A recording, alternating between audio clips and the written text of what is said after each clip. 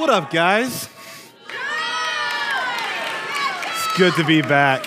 Hey, uh, for those of you who don't know me, my name is Joe. I'm one of the pastors here. I get to play the fun role of being the youth liaison for missions. And so, if you guys want to be equipped and trained in how to share the gospel, I'm your guy. It's fun to hang out with you guys.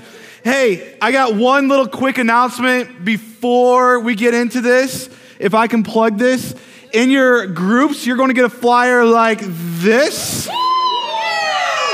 All right? So, this is a win win.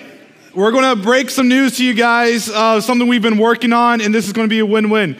We, as in you guys, I don't know if you know this, but you guys are going to do this.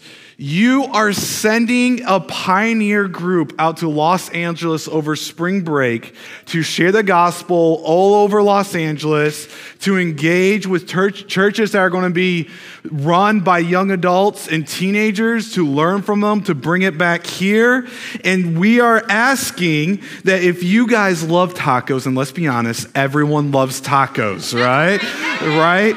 To show up at Torchy's on Spring Stuebner on Monday for those of you that are looking for like a Valentine's Day, yes, it is the day before Valentine's Day. And again, what says love more than tacos, right? And so show up 15%, 15% of all the sales. If you hand them this flyer, you mention Woodsedge, goes toward this trip and help spread the gospel out in Los Angeles and bring stuff back here. So please go do that. All right.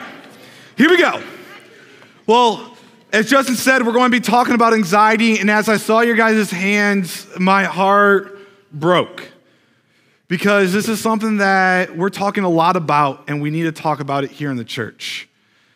Because wherever you guys go, you hear more and more about anxiety. You see, when our parents grew up, they never talked about these type of things. Then my generation came along, we kind of started talking about a little bit, and now it's become so popular in conversation. You guys, everywhere you turn, you're hearing these terms like mental illness and anxiety and depression and all these things coming at you. And we need to look at what the Bible actually says about this. All right, so guys, literally, I called a Christian counselor in studying for this sermon. He said, Joe, do you know what's happening with teenagers today? He said they're literally coming to me with their phones and showing me TikToks and Instagram reels and saying, I can relate with this. Do you think I have this disease? And that broke my heart. That the information we're getting about mental health is coming more from TikTok and Instagram and any other form of social media, not from the Word of God. And guys, I'm here to tell you that Jesus is with you and he loves you, even in the hardest times where things do not make sense. And we're going to look at that today. Well, first, we have to be very clear on what anxiety is. And so, the American Psychological Association, they sound official, so I'm going to back up what they say, okay? Anxiety is an emotion characterized by feeling of tension, worries, worried thoughts, and physical changes like the increase of blood pressure. Let me stop at that. You guys realize anxiety as as like what I'm going to be talking about, I'm not going to be talking necessarily about a mental illness. I want to be talking about this emotion that is anxiety, which means as all of us feel happiness, sadness, anger, joy, and all these other emotions, every single one of us feels anxiety.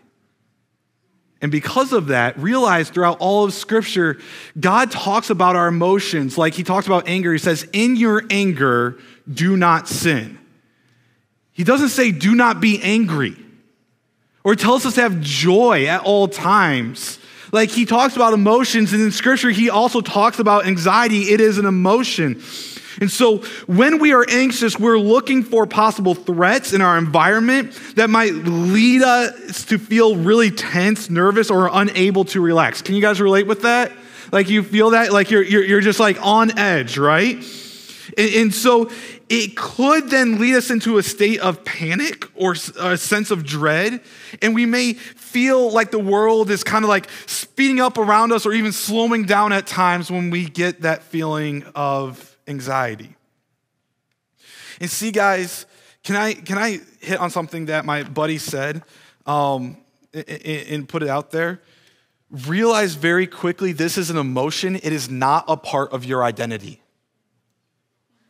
Like a, lot of, a lot of teenagers today are kind of looking to tag themselves with some form of maybe even mental illness because the conversation is so popular that they have to relate with something that even one of my friends, uh, I was talking about this, he's like, man, sometimes I feel bad if I can't tag myself with something.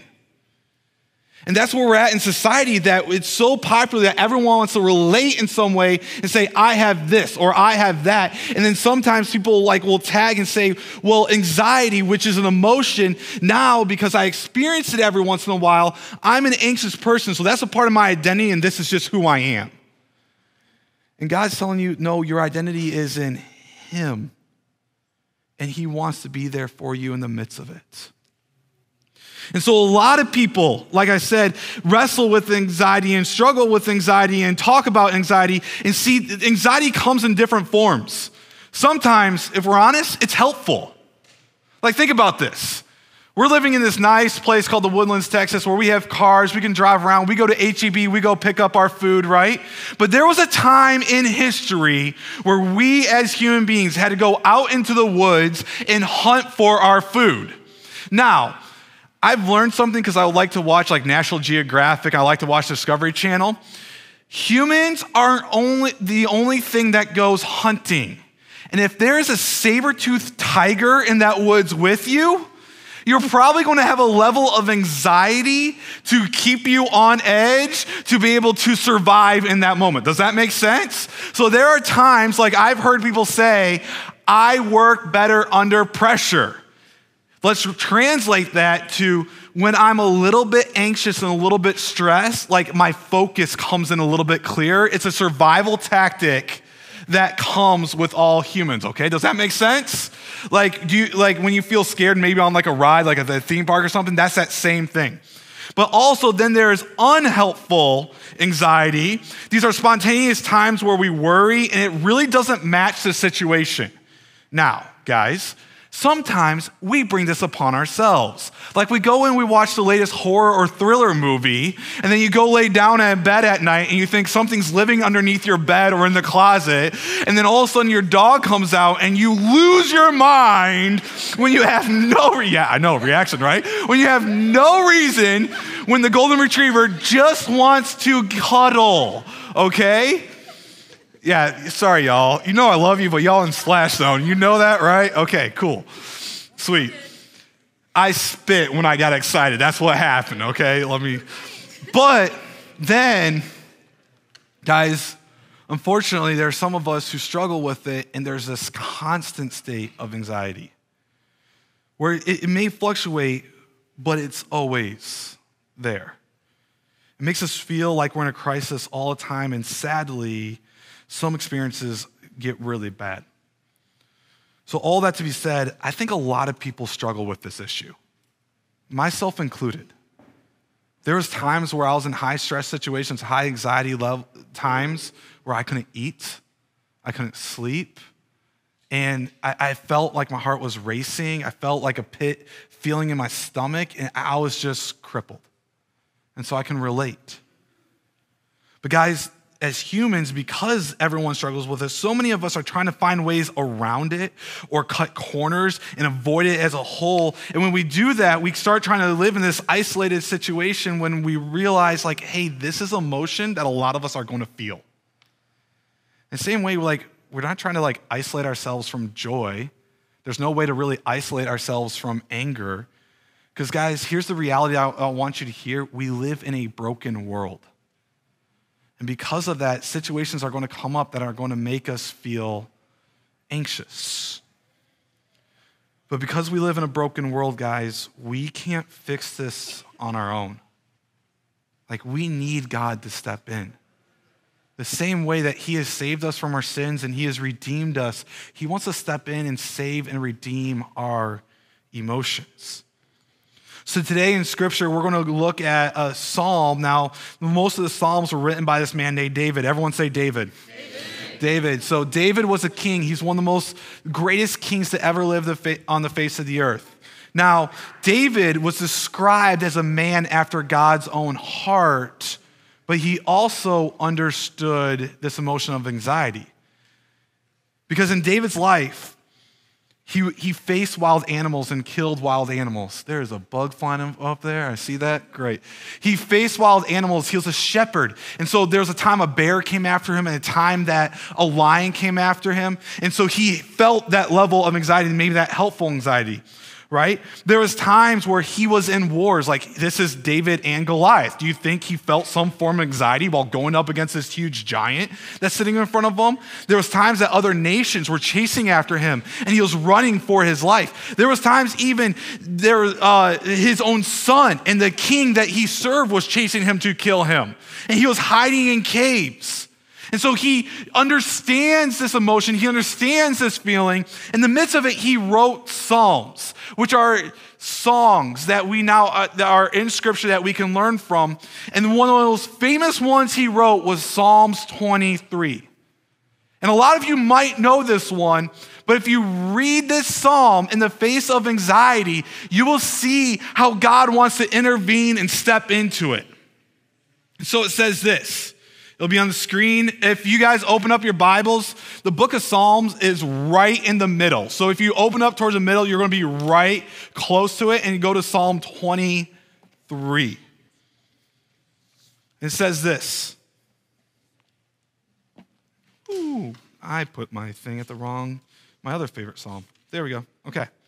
It says this The Lord is my shepherd. I have all that I need. He lets me rest in green meadows, and He leads me beside peaceful streams. He renews my strength. He guides me along right paths, bringing honor to His name. Even when I walk, check this verse, we're going to say this verse a lot. Even when I walk through the darkest valley, I will not be afraid, for you are close beside me. Your rod and your staff protect and comfort me. You prepare a feast for me in the presence of my enemies. You honor me by anointing my head with oil. My cup overflows with blessings.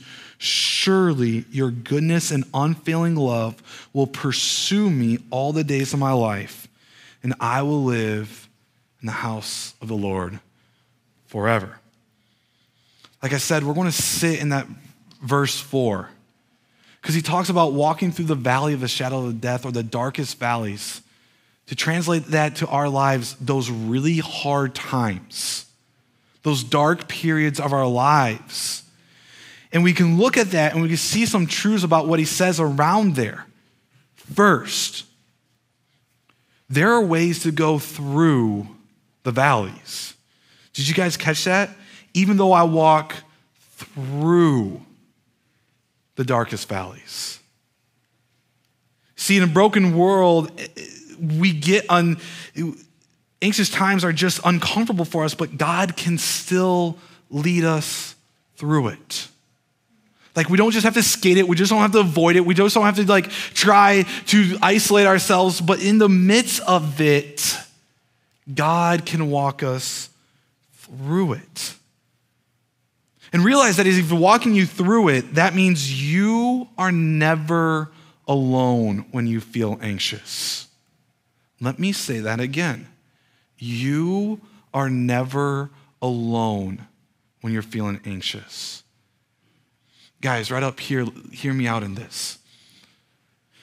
It breaks my heart so much to see how anxiety, depression, even suicide has ransacked your generation. And the lie of Satan is when you feel these emotions and you feel these things, he's going to say, You are all by yourself. And no one else cares and no one relates with you. guys, that is a lie from the pit of hell. He is with you. He's right there with you, and He loves you so much. Please don't ever buy into that lie that you are by yourself. Did y'all look around when Justin said, How many of you struggle with anxiety? Nearly half of this group raised their hand. So, just by that, you are not alone. Then you got community around you, you got leaders around you, you got God, the Almighty Creator, there for you. You are not alone. And then God, because He helps us walk through it, makes a way for us to know that it will be okay. Now, I, I want you to know this because in the midst of the darkest valleys, it doesn't feel like it, does it? Like it looks like there's no way out for us. There's those times it's like, man, when is this ever going to end? Guys, what I mean by okay, okay may not mean cured or without anxiety or completely healed, but it does mean that you can be more okay than what you are feeling in the moment. It means, guys, we know that He is there. In the book of Philippians, it says this it says, Do not be anxious about anything, but in everything by prayer and supplication supplication with thanksgiving let your request be known to god and the peace of god which surpasses all understanding will guard your hearts and your minds in christ jesus what this verse is saying in the midst of this, like I said, it doesn't mean that in the moment when we feel anxious that everything is taken care of, everything is healed, everything is cured. But in the midst of this, we can pray and call out to God and with thanksgiving, even giving him praise in the middle of it, and the peace of God. Did you guys catch that? The peace of God that He wants to give you, it, no one can understand the level of the peace of God. It surpasses all understanding. No one can grasp it. No human in their brain can say, I got it. Like it's bigger than any of that.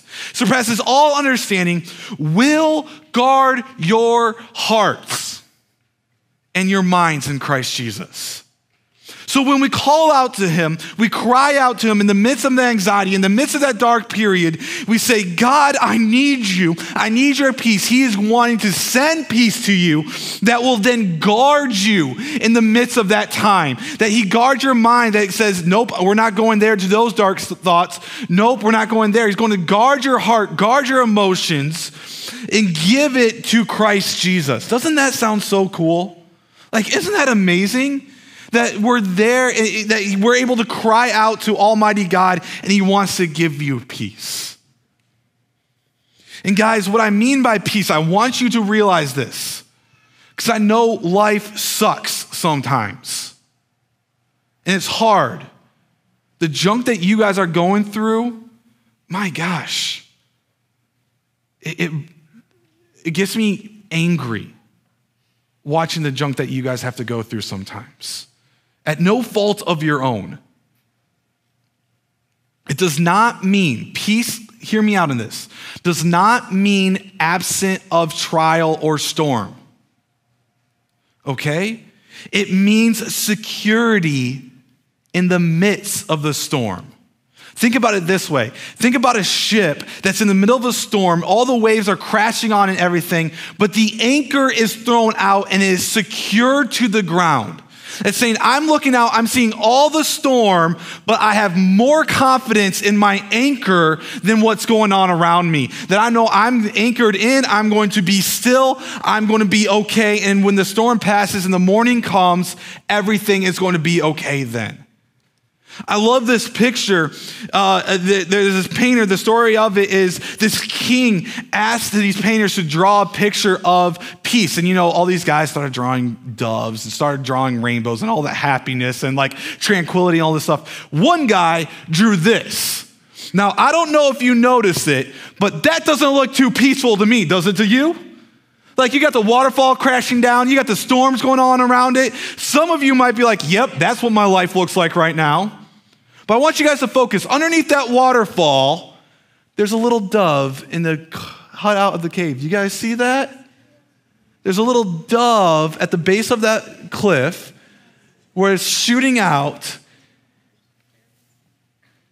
And that dove, in the midst of a storm, in the midst of a waterfall, has the security of that little cave, and he's experiencing peace. Guys, Jesus is our anchor. He is our refuge, our shelter. In the midst of this broken world, when the chaos is going around us, He wants to give you peace by resting in Him. He wants you to be like that little dove. He wants to give relief in that moment. How do I know that God wants, wants a way that it can be okay? Because in this passage, He is the shepherd. The Lord is my shepherd. I have everything that I need. You see, the role of the shepherd is to protect and lead the sheep. Us as sheep, as the picture, we can't feed ourselves, we can't fend for ourselves, we can't do anything on our own. We need the shepherd. He has tools in here. It talks about a rod and talks about a staff because those guide us and lead us, but also fend off creatures like lions and bears and tigers. Oh my, you know, like all these different things that could be coming to devour us. Put whatever you want in your life that wants to devour you, that He wants to fend us from. And it says, Jesus said, these are in red in your Bible in John 10, I am the good shepherd. You see, he backed up what was said thousands of years before in Psalm 23 and John uh, 10. He says, I am the good shepherd. The good shepherd lays his life down for the sheep. He who is a, just a hired hand and not a shepherd, he does not know. Uh, does not own the sheep. He sees a wolf coming and he leaves and the sheep and flees. And the wolf snatches them up and scatters them. He flees because he is a hired hand and cares nothing for the sheep. But I am the good shepherd. I know my own, and my own know me. Guys, do you realize this is exactly what Jesus wants to do for you and he has done for you? In the face of sin and death and the curse of it all, he's already laid his life down for you. And he wants to do it again for us. He is committed to you and he loves you so much in the midst of it. And even though we don't see it, he we may not see it, he right now is there for you and there with you. Guys, so when it comes to application of what we need to do and how we walk through anxiety, it really doesn't matter. So if we go to TikTok, we go to Instagram, they're going to feed us a bunch of stuff about anxiety and depression. But are we willing to turn to Jesus in the midst of it? You see, first, guys, know this. If there's anything you catch, catch this. Know that God is with you and for you. It says in Romans 8:31, if God is for us, who can be against us? Now you might read that and be like, who can be against me? Joe, depression, anxiety, suicide, you know, all these other things that are coming at me, right? But do you guys realize that it says, if God is for us? You see, that if in the Greek, it, the original language that it was written in, can be translated since. So it's assumed. Since God is for you, who can be against you? God, the creator of the universe, the one who spoke things into existence, who gathered dust from the ground and blew into it and life came. God is for you. Is present tense right now. You don't have to clean yourself up. You don't have to like wait till later. It wasn't just in the past. He's not for you now. Is right now for you. For he's on your side. He is your biggest fan. He's cheering for you. He's not only just cheering for you, he wants to hold you and be with you. He is for you uh, in the passage it says us this is a personal pronoun guys if in, this was written to the church so it is a plural in the moment but if it's written directly to you he is for you so since god is for you who can be against you do you guys understand the weight of that that he is there for you in the midst when you feel anxious when you feel down he is right there for you And some of you today who believe in Jesus just need that reminder that the Almighty God is for you. But for those of you who are here, like, yeah, I'm just here checking this thing out, or I think that girl's cute, so I just showed up because I want to hang out with her. Be honest, y'all do that, okay? Some of the guys were like, yeah, that was awesome. Look, if you don't have a relationship with Jesus, please know that we live in a broken world, but He's come to redeem it. And He's taken the curse of everything that's broken this world upon Him when He died on the cross, and He wants to have a relationship with you. The thing is, guys, he's a gentleman and he stands at the door and knocks, and he needs to be invited in to a relationship with us. And so, if you've not done that today, please talk to your community group leader and say, I can't relate with what Joe is saying because I don't have a relationship with Jesus, but man, I'd really love for him to walk with me in this anxiety stuff. So, guys, the other thing, uh, application wise, please talk about it. Don't be scared to talk about anxiety. Everyone else is. All right? First, talk about it with God. He knows what you're feeling, and He wants to be there with you and for you. Please, eh, like the passage says, with prayer and supplication, trust, talk to a trusted adult, your community group leader, one of the pastors here, a parent. Talk to someone about it. We're here to help you. Talk with your community. Guys, how many, like, w- during Freedom Weekends, you all feel like closer together? Like, you could go take the world over? Like, you, you're like, bring it on. We're gonna go get it, right? Like, because your community are tight. So, if you're struggling, talk to your friends about it. If they're godly friends, they're gonna point you back to Jesus, okay? And, guys, I, in all seriousness, if it is something that is crippling you, please, there's no shame in reaching out to a professional. Like, there's a stigma about maybe going out to counseling that we're all broken. Well, newsflash, we are. So it's okay to go talk about it with someone else that knows how to coach you in that. Guys, I'm like over my time by a minute, but this is how I wanted to end. So when Justin gave me this topic, I was like, thanks, man, that's an easy one. um, so I just started praying and said, God, what, what do you want me to share? And that night, I opened up this children's Bible. If you've never read this, go pick one up. It's the Jesus Story Bible, Storybook Bible. Like, I'm not telling, I'm not kidding. Every story points to Jesus, and it's like the most amazing truth ever. Even as like the guy with the Bible degree, I'm like reading through this, I'm like, this is amazing. like, where was this when I was growing up? Y'all spoiled. All right. But look, I picked up this, this Bible, Bible, going just uh, storybook Bible to read with my kids. And this is what I read.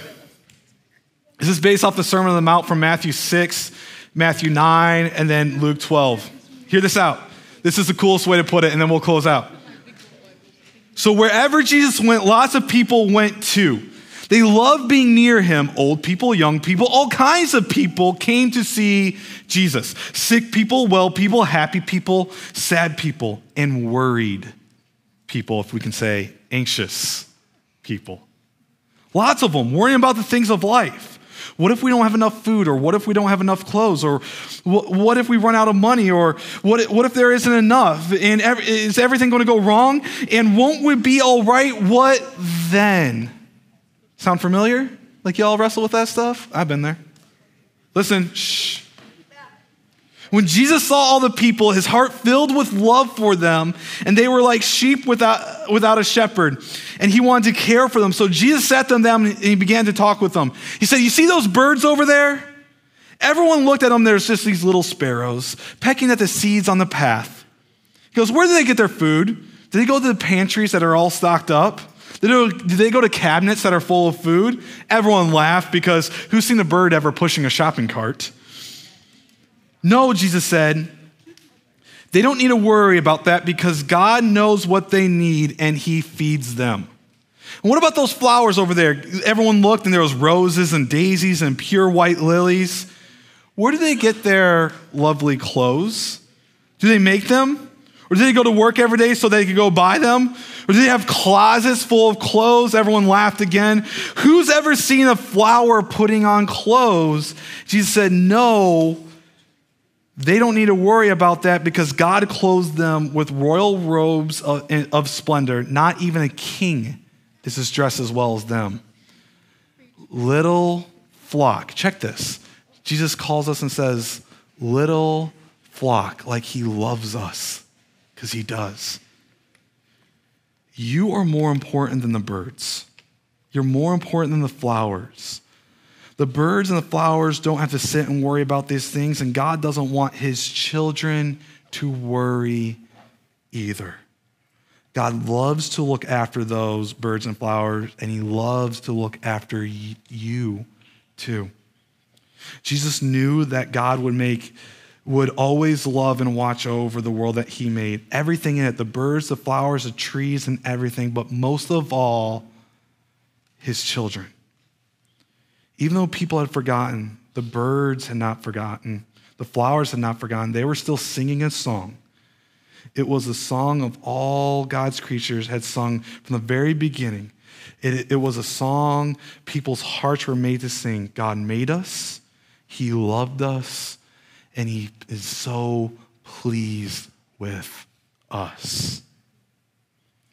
It was why Jesus had come to the world to sing to them the most wonderful song, to sing it not only with his voice, but with his whole life, so that God's children would remember it and sing it too. Let me pray. Lord Jesus, this world's scary. So many times we feel anxious. But God, we recognize that is the motion that you have given us, and we submit it to you. Jesus, will you please help us to go to and run to you when we feel anxious? Jesus, you will walk us through it. And I praise you for that. Thank you for being the good shepherd and loving us. In Jesus' name I pray. Amen.